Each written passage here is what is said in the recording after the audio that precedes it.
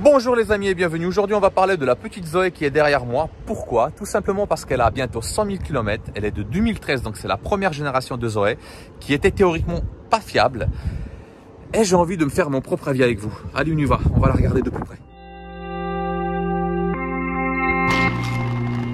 À l'extérieur, il n'y a aucun point d'usure. Il n'y a vraiment rien à dire. La voiture, elle a 100 000 km, donc pour beaucoup de gens, c'est quasiment rien. Et je suis entièrement d'accord avec vous. Mais ça reste une voiture électrique. Et quelque part, on pourrait se dire, bah, c'est une voiture en carton. Mais non. On est vraiment sur de la ferraille et sur du bon plastique. Après, au niveau des couleurs, les montants de porte, les joints ont gardé toujours leur aspect noir. Juste une seule petite remarque, et ce sera la seule sur la totalité de la voiture, c'est les logos arrière et les logos avant. Je vais te faire voir. Ils ont juste perdu leur vernis qui est très très joli, qui est bleu et qui va super bien en fait avec les optiques avant. Avec le petit logo Z2. C'est la seule remarque que je constate à l'extérieur de la voiture et j'en ferai pas d'autres car il n'y a rien à dire. À l'intérieur, le même constat, malgré que la voiture soit sale à cause de l'utilisation quotidienne, les matériaux, ils ont très très bien vieilli. Regarde les flancs du siège, il n'y a rien, mais strictement rien qui s'est usé. Je pense même qu'elle pourra faire 200-250 000 km avec cette utilisation-là. Le volant, c'est pareil. Il est vraiment propre. Il n'y a rien qui se dégrade. Tout est là. Il n'y a rien qui s'est barré nulle part. Bon, c'est comme dans une Clio, c'est exactement le, même système. Euh, c'est fiable, mais en même temps, ça fait un peu de bruit.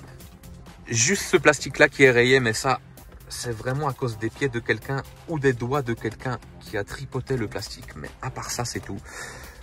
Toutes les parties noires sont bien noires, bien brillantes. Toutes les parties chromes s'en vont pas. Elles sont bien là. On n'a pas cet effet de chez Volkswagen, tu sais, où le blanc, en fait, il disparaît sur le fond noir. Euh, tout est à sa place comme il faut. On va limite dire que la voiture, elle a très très bien vieilli dans l'immédiat pour les 100 000 km. Donc à l'arrière, même constat. Les matériaux semblent quand même en très très bon état, à part un nettoyage, il n'y a rien d'autre à faire. On voit qu'il y a eu un siège auto ici.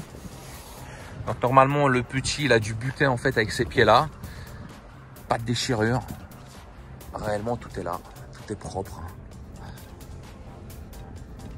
Le ciel de toit se casse pas la gueule c'est plutôt un bon point. La voiture, elle a plutôt tendance à bien vieillir. Bah, le coffre, euh, toujours les prises électriques avec les câbles. Donc, au compteur est là. Attends, je vais te faire voir. Hop, zoom. 100 000 bornes bientôt. Et franchement, là, je vais te sortir l'historique que j'ai vu. Et en cliquant dessus, en fait, la voiture, à part un entretien traditionnel, elle a jamais eu de panne. Elle a juste eu quelques rappels, comme par exemple le rappel pour le GPS, un rappel pour le tableau de bord. Donc je sais pas pourquoi exactement il y a eu quelque chose de fait dessus. Et puis le train avant. À part ça, pneus, plaquettes, liquide, pneus, plaquettes, liquide. Rien d'autre. Pour tous ceux qui connaissent cette voiture-là, j'ai rien à vous apprendre. Vous savez très très bien que la voiture, elle est très très agréable à conduire. Pour ceux qui connaissent pas, franchement, ça vaut le coup. Une voiture électrique, c'est super sympa. Alors, je vous parle pas de l'autonomie de la batterie. Non, non, je vous parle pas de ça. Je vous parle juste de la conduite pure. Elle est vraiment sympa. Euh, au niveau de tout ce qui est très urbain, euh, elle est hyper coupleuse, elle accélère très très fort et surtout en fait on tient super bien le pavé. Il n'y a aucun problème à ce niveau-là malgré le poids. Elle est très très bien équilibrée. Même cet accoudoir que moi je critiquais à l'époque de pas solide, parce qu'il craque, il bouge, enfin il n'est pas, il est pas fiable au, niveau du maniement. Bah il est toujours là, donc ça veut dire que je me suis trompé. Désolé. Tout sur cette voiture là fonctionne bien, elle ne fait aucun bruit suspect. Réellement, pour une voiture de 2013 avec 100 000 km qui est pas exceptionnel pour une voiture thermique, on est bien d'accord. Mais pour une voiture électrique, on a quand même droit de se poser la question est-ce que l'autonomie de la batterie sera assez assez longue? Parce que bah, on peut se dire c'est peut-être un petit peu comme un téléphone ou un ordinateur portable. Au bout d'un certain moment, en fait, ça s'use prématurément et puis bah euh, tu vois, tu fais 20 km. D'après l'ancien propriétaire, l'autonomie de la batterie ne changeait pas, sauf entre l'été et l'hiver. C'est tout. Il y a un autre petit point qui est négatif, c'est la revente en occasion. Si vous vendez ça à un professionnel, c'est une chose, mais si vous voulez par exemple vous particulier revendre ça à un autre particulier, c'est beaucoup plus compliqué avec la Zoé car vous avez le contrat. Il faut bien lire dessus que en fait vous vous engagez sur un an, deux ans, trois ans, enfin voilà. Ce qui peut poser problème parce que si vous respectez pas ce temps-là, en fait, la DIAC vous demandera un complément. Bah oui, c'est des gros malins. Et surtout, n'oubliez pas, si même vous avez réussi à arriver au terme de ce contrat-là, de faire signer le nouveau contrat au nouveau propriétaire. Car en fait, il prend fin et début le jour de la signature de l'achat de la voiture. Vous faites votre acte de vente, vous barrez la carte grise, mais surtout, vous avez le contrat avec les échéances à faire signer au nouveau propriétaire.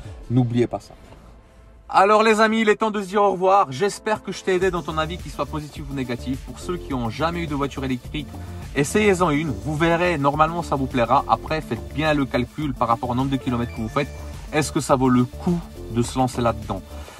C'est un bon produit. Ça, il n'y a aucun problème. Mais il faut quand même l'acheter avec un tout petit peu de recul, un tout petit peu de, de calcul par rapport à un modèle thermique. Voilà. Sur ce, merci à tout le monde de votre attention. Abonnez-vous et likez. Laissez un petit commentaire, ça me fait toujours bien plaisir. Qu'il soit positif ou négatif, peu importe, mais en tout cas, ça prouve que les gens regardent et participent. Voilà. À bientôt. Bisous à tous. Ciao.